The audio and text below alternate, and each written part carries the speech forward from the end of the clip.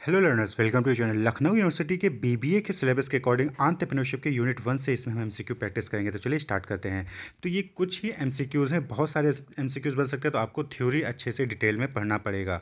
तो चलिए स्टार्ट करते हैं। Which of the following shows the process of creating something new तो नीचे चार ऑप्शन है। उसमें से बताना है कि कौन सा प्रोसेस है जो कि कुछ नया बनाने का प्रोसेस है।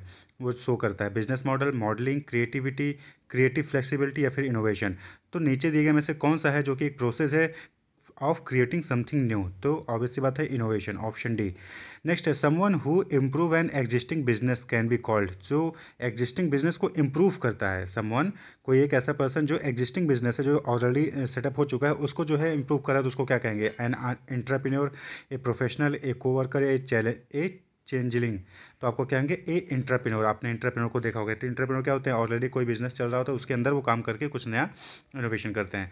Which could provide an individual with the motivation to start a new business venture नीचे चार ऑप्शन है, आपको बताना है कि which could provide an individual with the motivation to start a new business यानी कि क्या, कौन सा नीचे देगा ऑप्शन में से जो है मोटिवेशन प्रोवाइड करेगा इंडिविजुअल को कि वो जो है बिज़नेस नया वेंचर स्टार्ट करे। Financial reward a desire to be independent risk taking या फिर option D all of the above तो ऑब्वियसली बात है तीनों ही क्या है? मोटिवेशनल फैक्टर है financial reward desire to independent independent रहना और रिस्क टेकिंग ये तीनों ही मोटिवेशनल और ये तीनों ही जो है जो है किसी भी इंडिविजुअल को मोटिवेट करेंगे कि नया वेंचर स्टार्ट करें। तो ऑप्शन रहेगा option D all of the above which of the following is the reason for business failure तो बिज़नेस फेल होने का क्या रीजन है? नीचे दिए गए ऑप्शन में से बताना है कि lack of market research market research नहीं किया poor financial control financial control सही नहीं था। पुअर मैनेजमेंट मैनेजमेंट पुअर नहीं था फिर ऑल ऑफ़ द अब तो। ऑब्वियसली बात है तीनों ऑप्शन ही क्या है? वो फेल होने के रीजन है। अगर ये तीनों लैक ऑफ़ मार्केट रिसर्च है फाइनेंशियल कंट्रोल नहीं है मैनेजमेंट पुअर है तो बिज़नेस फेल होना ही होगा। तो ऑप्शन डी क्या होगा? All of the above next है आंतप्रोनियल बिहेवियर इंक्लूड तो, आंतप्रोनियल बिहेवियर होता है वो क्या इंक्लूड करता है? Solving problem taking initiative taking responsibility या फिर option D all of the above तो आंतप्रोनियल जो है बिहेवियर जो है वो तीनों ही शो करता है। प्रॉब्लम को सॉल्व करना इनिशिएट करना रिस्पॉन्सिबिलिटी लेना ये आंतप एंटरप्रेन्योरियल एक्टिविटीज़ होती हैं, ये आंतरप्रेन्योर के जो कैरेक्टरिस्टिक्स होती हैं तो ये तीनों ही बिहेवियर है तो all of the above option हो जाएगा।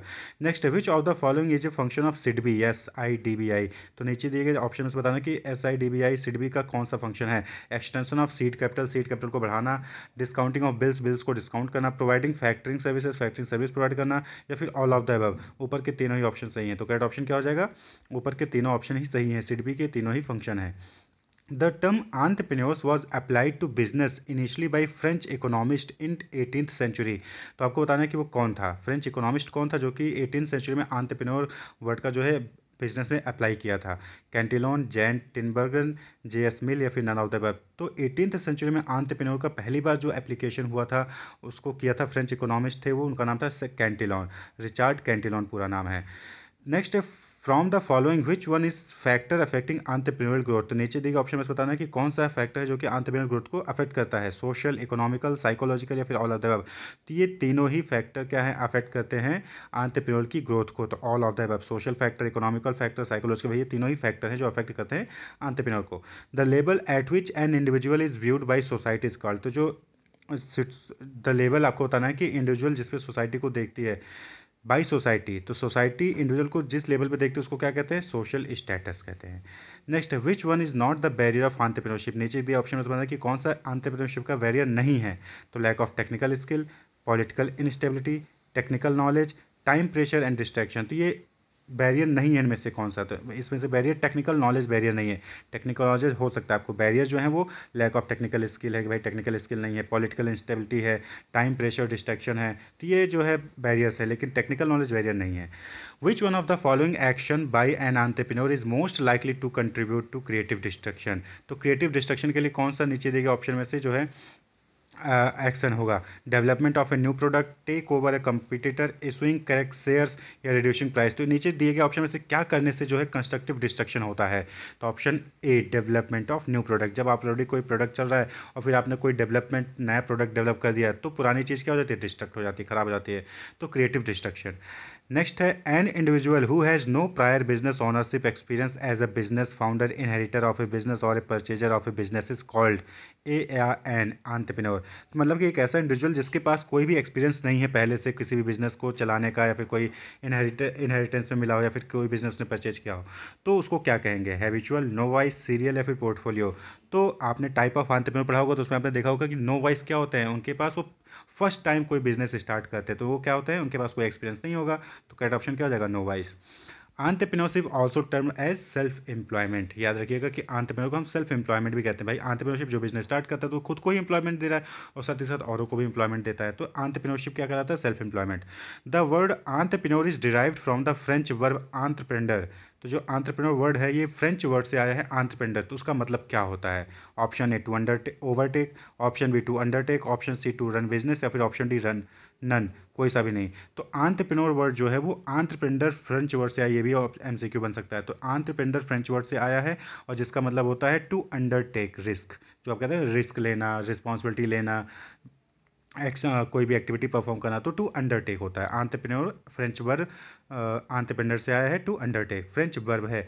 नेक्स्ट है the term entrepreneur was first used by in his essay on the nature of commerce तो जो 1755 में 1755 में द नेचर ऑफ़ कॉमर्स एक ऐसे आया था, उसमें जो टर्म है आंतरप्रेन्योर वो पहली बार यूज़ किया गया था। किसके द्वारा? Joseph Schumpeter Richard Cantillon Adam Smith या फिर किसी ने नहीं। तो करेक्ट ऑप्शन क्या है? रिचार्ज कैंटिलोन अभी आपने देखा था उससे पहले भी कि रिचार्ज कैंटिलोन ही थे जो उन्होंने पहली बार अप्लाई किया था।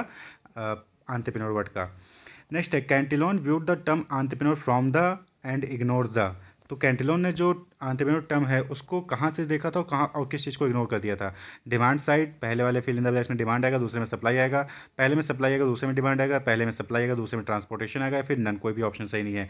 तो Cantillon view the term entrepreneur from the supply side and ignore the demand side तो कैंटिलोन जो आंतरप्रेन्योर का देखा, उसको समझा, वो सप्लाई साइड से सुन रहा, लेकिन डिमांड साइड से उन्होंने उसको इग्नोर कर दिया था। नेक्स्ट है according to F H Knight entrepreneurs according to F H Knight author है। उनके अकॉर्डिंग आंतरप्रेन्योर कौन होते हैं? इनोवेटर होते हैं एग्जीक्यूटर होते हैं परफॉर्मर होते हैं अनसर्टेनिटी बियर होते हैं। तो एफ़ एच नाइट के अकॉर्डिंग आंतरप्रेन्योर्स अनसर्टेनिटी बियर होते हैं। वो अनसर्टेनिटी को बियर करते हैं कि आगे जाने के क्या होने वाला उनको कुछ पता नहीं होता, लेकिन वो बिज़नेस स्टार्ट करते हैं। अकॉर्डिंग टू इस कंप्यूटर आंतरप्रेन्योर इस कंप्यूटर के अकॉर्डिंग आंतरप्रेन्योर कौन होते हैं? इनोवेटर एग्जीक्यूटर परफॉर्मर या फिर अनसर्टेनिटी बियर तो इस कंप्यूटर के अकॉर्डिंग इनोवेटर होते हैं आंतरप्रेन्योर। आंतरप्रेन्योर कुछ नया डेवलप करते हैं। अकॉर्डिंग टू जीन बेप्टिस्टे से आंतरप्रेन्योर तो जीन बेप्टिस्टे से इनको जेबी से भी आप नाम सुने होंगे। तो जेबी से के अकॉर्डिंग आंतरप्रेन्योर क्या होते हैं? इनोवेटर एग्जीक्यूटर ऑर्गेनाइजर या फिर अनसर्टेनिटी बेयर तो जेबी से के अकॉर्डिंग आंतरप्रेन्योर, ऑर्गेनाइजर होते हैं। ऑर्गेनाइज करते हैं चीज़ों को, फिर उसके बाद बिज़नेस स्टार्ट करते हैं। नेक्स्ट है the expert who invented the theory of entrepreneurship was तो जिन्होंने आंतरप्रेन्योरशिप की थ्योरी डेवलप की थी एक्सपर्ट वो कौन है? इस कंप्यूटर ने की थी 1961 में रिचार्ज कैंटिलोन ने की थी 1961 में, फिर डेविड मैकलियन ने की थी 1961 फिर नन किसी ने नहीं गई तो expert who invented the theory of entrepreneurship is David McClelland ने 1961 में ही कर दी थी। उसके बाद रिचार्ड कैंटिलोन ने जो है, उस वर्ड को यूज़ किया था आंतरप्रेन्योर को अपने ऐसे में। तो डेविड मैकलियन ने नाइनटीन में ही इन्वेंट किया था। An individual who discover an idea to start a business an individual who discover an idea to start a business and then builds a business to give birth to his idea ये क्या है एक individual होता है जो discover करता है idea को बिज़नेस स्टार्ट करने के लिए, फिर build business to give birth to his idea फिर वो बिज़नेस स्टार्ट कर देता है। तो बिज़नेस आंतरप्रेन्योर कहते हैं ट्रेडिंग आंतरप्रेन्योर कहते हैं इंडस्ट्रियल आंतरप्रेन्योर कहते हैं, फिर कॉर्पोरेट आंतरप्रेन्योर कहते हैं। तो ऐसे आंतरप्रेन्योर को जो डिस्कवर करते हैं आइडिया को और उसके बाद बिज़नेस स्टार्ट करते हैं। तो उसको हम कहते हैं बिज़नेस आंतरप्रेन्योर ठीक नेक्स्ट है, जो बाकी आंतरप्रेन्योर देखिए ट्रेडिंग आंतरप्रेन्योर होते हैं, वो अंडरटेक करते हैं trading activity buying and selling का काम करते हैं वो। इंडस्ट्रियल आंतरप्रेन्योर मैन्युफैक्चरिंग का काम करते हैं। और कॉर्पोरेट आंतरप्रेन्योर वो स्किल्स को डेवलप करते हैं नए नए जिससे कि ऑर्गेनाइज किया जा सके मैनेज किया जा सके कॉर्पोरेट अंडरटेकिंग को। तो वो कॉर्पोरेट आंतरप्रेन्योर कहलाते हैं। तो ये आपको पता होना चाहिए, क्योंकि एमसीक्यू कहीं से भी पूछा जा सकता है। नेक्स्ट है they believe in their own performance while undertaking business activities वो अपनी परफॉर्मेंस पे बिलीव करते हैं, अपनी बिज़नेस एक्टिविटीज़ को करते वक्त। They undertake business venture for their personal satisfaction status and वो बिज़नेस स्टार्ट करते हैं अपनी पर्सनल सेटिस्फैक्शन के लिए स्टेटस के लिए और ईगो को सेटिस्फाई करने के लिए। They are guided by the motive of profit वो मोटिव ऑफ़ प्रॉफिट से गाइड होते हैं। तो ऐसे आंतरप्रेन्योर को हम क्या कहते हैं? Pure entrepreneur induced entrepreneur motivated entrepreneur फिर स्पॉन्टेनियस आंतरप्रेन्योर तो ऐसे आंतरप्रेन्योर को हम प्योर आंतरप्रेन्योर कहते हैं, जो कि अपनी परफॉर्मेंस के बेसिस वो गाइड होते हैं, वो पर्सनल सेटिस्फैक्शन स्टेटस और ईगो के लिए जो है बिज़नेस स्टार्ट करते हैं मोटिव उनका जो है प्रॉफिट अर्न होता है तो वो प्योर आंतरप्रेनोर कहलाते हैं। They are natural entrepreneur natural entrepreneurs किसको कहते हैं? तो करेक्ट ऑप्शन है स्पॉन्टेनियस आंतरप्रेन्योर इनको हम नेचुरल आंतरप्रेन्योर भी कहते हैं। He is essentially an innovator he is also called new entrepreneur तो आपको नीचे ऑप्शन में से बताना है कि वो एक इनोवेटर होता है और उसको हम न्यू आंतरप्रेन्योर भी कहते हैं। किसको? मॉडर्न आंतरप्रेन्योर को क्लासिकल आंतरप्रेन्योर को फ़र्स्ट जनरेशन आंतरप्रेन्योर को या फिर प्योर आंतरप्रेन्योर को? तो करेक्ट ऑप्शन है फ़र्स्ट जनरेशन आंतरप्रेन्योर इनको हम न्यू आंतरप्रेन्योर भी कहते हैं और ये इनको हम इनोवेटर भी कहते हैं। Next question someone who is devoted to one venture at a time but ultimately starts many यानी एक टाइम पे एक वेंचर स्टार्ट कर रखा है, लेकिन फिर धीरे धीरे वो क्या करता है कि बहुत सारे वेंचर स्टार्ट करता है। He repeatedly start business and grows them to sustainable size and then sells them off यानी कि वो नए नए बिज़नेस स्टार्ट करता है और फिर जब एक सस्टेनेबल साइज़ में पहुँच जाते हैं ग्रोथ करते हैं तो फिर उसको वो सेल कर देता है। तो ऐसे आंतरप्रेन्योर को हम कौन सा आंतरप्रेन्योर कहते हैं? ऑप्शन ए है सीरियल आंतरप्रेन्योर ऑप्शन बी है नोवाइस ऑप्शन सी है प्रोफेशनल आंतरप्रेन्योर ऑप्शन डी है इनोवेटिव तो ऐसे आंतरप्रेन्योर को हम क्या कहते हैं? सीरियल आंतरप्रेन्योर सीरीज़ में एक एक करके स्टार्ट करते हैं भेजते जाते हैं। तो उनको हम क्या कहते हैं? सीरियल आंतरप्रेन्योर नेक्स्ट है। These entrepreneurs are traditionally bounded नीचे चार ऑप्शन दिए गए हैं, चार टाइप के आंतरप्रेन्योर बताए गए वो उनमें से बताना कि कौन सा है जो कि ट्रेडिशनली बाउंडेड होता है। दे वुड बी कॉशियस बहुत कॉशियस होते हैं। They neither introduce new change nor adopt new method innovated by other वो ना ही जल्दी से कोई चेंज अडॉप्ट करते हैं, ना ही कोई दूसरा मेथड जो किसी और ने इनोवेट किया है, उसको अडॉप्ट करते हैं। They are shy and lazy वो शाई होते हैं लेजी होते हैं।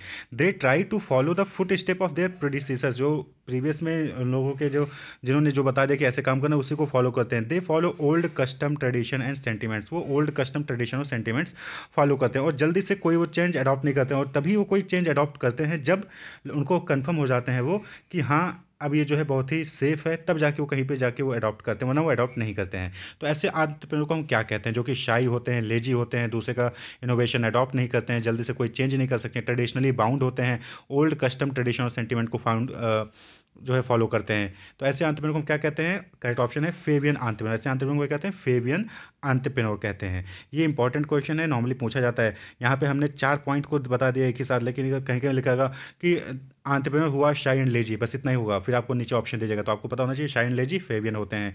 कौन चेंज अडॉप्ट नहीं करता है? फेवियन आंतरप्रेन्योर अडॉप्ट नहीं करते हैं। लेकिन फेवियन में एक चीज़ है कि वो धीरे धीरे बाद में जब उनको एकदम कॉन्फिडेंस हो जाता है, तब जाके वो अडॉप्ट कर लेते हैं। नेक्स्ट क्वेश्चन है। Are those who refuse to adopt and use opportunities to make change in production. They would not change the method of production already introduced. ऐसे एंटरप्रेन्योर जो कि अपना मेथड ऑफ़ प्रोडक्शन जो already introduce हो चुका है, उसको चेंज नहीं करते हैं। They may even suffer losses but they are not ready to make change in their existing production method यानी कि ऐसे एंटरप्रेन्योर हैं जो कि अगर उनको नुकसान भी हो जाएगा, कोई बात नहीं, वो लेकिन चेंज नहीं अडॉप्ट करेंगे, नया मेथड अडॉप्ट नहीं करेंगे। देखिए फेविन में क्या था कि हाँ कुछ हद तक जो है वो कॉन्फिडेंस आने के बाद वो अडॉप्ट कर लेते थे। शाही थे लेजी थे ट्रेडिशनली बाउंडेड थे, लेकिन वो कॉन्फिडेंस होने पे वो अडॉप्ट कर लेते थे नए मेथड को। लेकिन यहाँ पे जो पूछा जा रहा है कि ऐसे आंतरप्रेन्योर जो कि लॉस भी हो जाए, नुकसान भी हो जाए, लेकिन वो नए चेंज को अडॉप्ट नहीं करते हैं तो उसको क्या कहते हैं? कौन से आंतरप्रेन्योर कहते हैं? फेवियन ड्रोन एडॉप्टिव या फेमिटेटिव तो करेक्ट ऑप्शन है ड्रोन आंतरप्रेन्योर तो ड्रोन आंतरप्रेन्योर क्या होते हैं? ये रिजिड होते हैं एक तरीके से। वो रिफ्यूज़ कर देते हैं कि हमें नए अपॉर्चुनिटीज़ को या फिर चेंजेस को अडॉप्ट नहीं करना है। नेक्स्ट है entrepreneurs who work together as co owner of their business उनको क्या कहते हैं? आंट्रप्रेन्योर जो कि एक साथ को ऑनर्स की तरह काम करते हैं। Adoptive entrepreneur imitative entrepreneur copreneur या फिर इंट्राप्रेन्योर तो करेक्ट ऑप्शन है कोप्रेन्योर कोप्रेन्योर मीन्स दो लोग जब एक साथ बैठ काम करते हैं आंट्रप्रेन्योरशिप करते हैं। नेक्स्ट है he transform an idea into reality by focusing on innovation and creativity in the internal organizational environment internal organizational environment के अंदर जो है कुछ innovation या creativity करता है उस अंत में हम क्या कहते हैं adoptive imitative co-preneur या फिर entrepreneur तो क्या ऑप्शन है entrepreneur entrepreneur जो कि ऑलरेडी कोई existing business होता है अभी आपने पीछे भी एक एमसीक्यू डिस्कस किया तो ऑलरेडी कोई ऑर्गेनाइजेशन होता है एग्जिस्टिंग बिज़नेस होता है उसमें जब वो कुछ नया इनोवेशन या क्रिएटिविटी करते हैं तो उसको हम क्या कहते हैं इंटरप्रेन्योर कहते हैं नेक्स्ट है assembling a super competent management team who then develop produce and market the product और service in the shortest optimum time period they create business and then sell out merge and combine तो ऐसे आंतमें को क्या कहते हैं? यानी कि यहाँ पे एक ऐसा आंतमें होता है जो कि क्या कहता है? असेंबल करता है एक मैनेजमेंट टीम को। मतलब मैं हूँ, मैंने चार पाँच लोगों की टीम को असेंबल कर दिया और फिर वो जो जो असेंबल किया, जिन, जो टीम बनाई है मैंने मैनेजमेंट टीम वो लोग कुछ बनाएँगे डेवलप करेंगे प्रोड्यूस करेंगे मार्केट करेंगे, उसको बेचेंगे और फिर धीरे धीरे वो किसी ना किसी बिज़नेस में या तो बेच देंगे या तो मर्ज हो जाएँगे फिर कंबाइन हो जाएँगे। तो ऐसे आंतरप्रेन्योर को हम क्या कहते हैं? तो ऐसे आंतरप्रेन्योर को हम कहते हैं अल्ट्रा पिन्योर कहते हैं, जो खुद ना रिस्क लेके एक टीम बना देते हैं और वो टीम काम करती है। तो हम उनको आंतरप्रेन्योर को क्या कहते हैं? अल्ट्राप्रेन्योर नेक्स्ट है a capacity that exist in a person that leads to behaviour that means the job demand within the parameter of organisational environment and that in turn brings about desired result तो उसको क्या कहते हैं? यहाँ देखिए capacity की बात हो रही है। तो कैपेसिटी मीन्स क्या होता है? आंतरप्रेन्योर कंपिटेंसीज तो आंतरप्रेन्योर कंपिटेंसीज वो कैपेसिटी होती है जो कि किसी पर्सन में एग्जिस्ट करती है, जो कि बिहेवियर आता है, उसकी वजह से फिर वो जॉब डिमांड्स मीट करते हैं ऑर्गेनाइजेशनल इन्वायरमेंट के पैरामीटर्स में। नेक्स्ट है the term entrepreneur was first defined by iris French economist तो आंतरप्रेन्योर पहली बार डिफाइंड किसने किया था? रिचार्ज कैंटिलोन ने। इसके ये क्वेश्चन इंपॉर्टेंट है, पूछा भी जाता है। The process of entrepreneurship is divided into two part and they are जो प्रोसेस है आंतरप्रेन्योरशिप को डिवाइडेड बाई दो पार्ट में डिवाइडेड वो क्या है? Idea generation feasibility study innovation generation distribution channel creativity and development या फिर प्रॉफिट एंड इकोनॉमिक डेवलपमेंट तो करेक्ट ऑप्शन है। Idea generation and feasibility study दो, जो प्रोसेस है आंतरप्रेन्योरशिप को इन दो पार्ट में डिवाइडेड है। नेक्स्ट है the idea generation process of entrepreneurship आर्थ वो जर्मिनेशन प्रिपरेशन इंक्यूबेशन ये तीनों ही होते हैं। तो आइडिया जनरेशन प्रोसेस जो होता है आंतरप्रेन्योरशिप का, वो जर्मिनेशन प्रिपरेशन इंक्यूबेशन तीनों नाम से जाने जाते हैं। Entrepreneurship is useful to the organisation because of तो आंतरप्रेन्योरशिप क्यों यूजफुल है किसी ऑर्गेनाइजेशन के लिए? Development of manager capabilities manager capability develop होता है। Creation of organisation organisation create होता है। Improving standard of living and economic development economic development होता है स्टैंडर्ड ऑफ़ लिविंग भी इंप्रूव होती है। तो आंतरप्रेन्योरशिप यूजफुल है ऑब्वियसली बात है, इन तीनों के लिए ही यूजफुल है। तो all the of the above correct option हो जाएगा।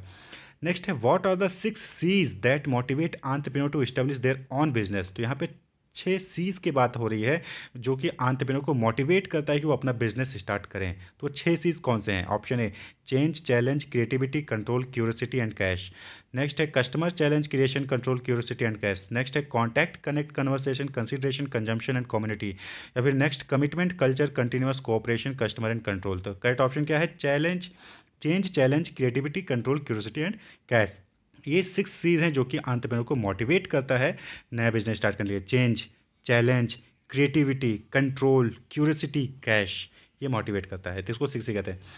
Think big think fast think ahead ideas are no one's monopoly तो थिंक बिग मतलब कि बड़ा सोचिए, जल्द जल्दी सोचिए और आगे जाने की सोचिए। आइडिया जो है किसी की मोनोपोली नहीं है। तो ये स्टेटमेंट किसने कहा था? अजीम प्रेम जी ने, मुकेश अंबानी ने, विजय माल्या ने, फिर धीरज लाल हीराचंद अंबानी ने। तो किसने कहा था? ऑप्शन डी धीरज लाल हीराचंद अंबानी ने।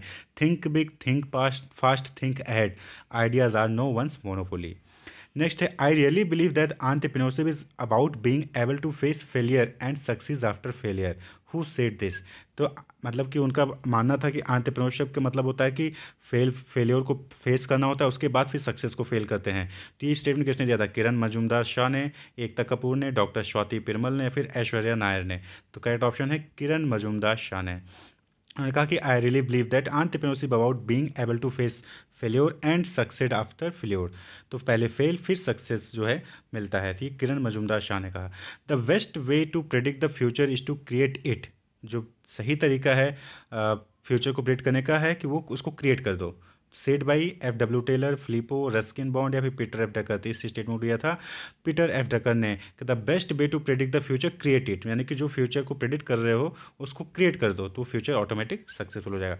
आंट्रप्रेन्योर्स स्किल्स इंक्लूड जो आंट्रप्रेन्योर की स्किल्स होती है, उसमें क्या क्या होता है? Creative problem solving persuading negotiation या फिर ऑल ऑफ़ द बब तो आंट्रप्रेन्योर की स्किल क्या है? तीनों ही स्किल हैं। किसी को समझना नेगोशिएट करना प्रॉब्लम सॉल्व करना क्रिएटिवली स्किल हैं। The was distinguish from capital provider in. तो आंतरप्रेन्योर जो है वो कैपिटल प्रोवाइडर से डिस्टिंग्विश किया था एटीन सेंचुरी में। आप देखिए सारा कुछ एटीन सेंचुरी में हुआ है। Which one of the following is the process of entrepreneur developing new product that over time make current product obsolete यानी कि नया प्रोडक्ट डेवलप होता है तो पुराना वाला प्रोडक्ट ऑप्सलीट हो जाता है। तो उसको हम क्या कहते हैं? New business model anatomisation none of the given option या फिर क्रिएटिव डिस्ट्रक्शन अभी ये क्रिएटिव डिस्ट्रक्शन आपने पहले भी पढ़ा। क्या होता है कि जब हम कोई नया चीज़ डेवलप करते हैं तो पुरानी चीज़ ऑप्सलीट हो जाती है। तो वही क्या होता है? क्रिएटिव डिस्ट्रक्शन होता है।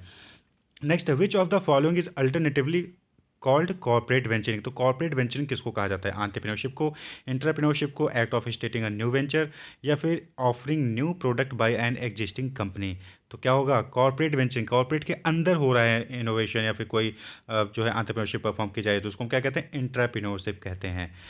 Individuals influencing an entrepreneur's career choice and style are known as तो individual influencing an entrepreneur's career choice and style किसी आंतरप्रेन्योर की करियर चॉइस को स्टाइल को चेंज करने वाले इन्फ्लुएंस को इन्फ्लुएंस करने वाले फैक्टर्स क्या कहते हैं? Moral support network role model professional support network या फिर सपोर्ट सिस्टम तो इसको क्या कहते हैं? रोल मॉडल रोल मॉडल जो है वो इन्फ्लुएंस करता है करियर चॉइस और स्टाइल के लिए.